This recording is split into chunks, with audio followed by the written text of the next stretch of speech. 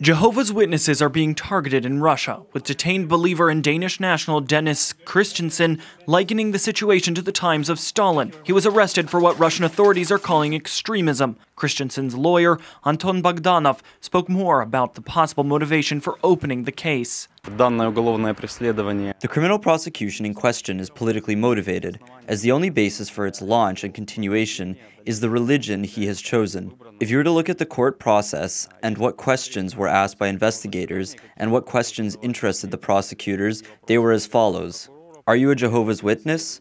Were you at a Jehovah's Witness service?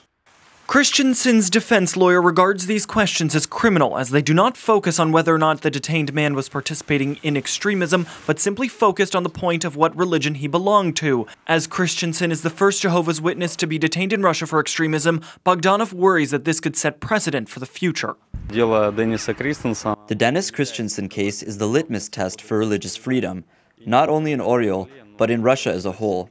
It is worth noting that I know from my colleagues that even investigators in other regions that are working on cases against Jehovah's Witnesses are watching the course of this case and are awaiting its result to determine their next lowing actions. So unfortunately, there is no doubt that this case shows that religious freedom in Russia is not without problems today. Even facing possible prison time, Christensen and his family are holding out hope. His wife Irina says she's seen an outpouring of support for her husband. Our faith is only becoming stronger. It is always stronger in the times of hardship. So I don't know. Faith will not shake.